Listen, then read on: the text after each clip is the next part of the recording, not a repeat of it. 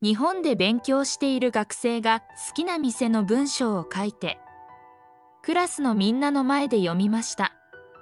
ケンさんの文章私は寿司が好きです。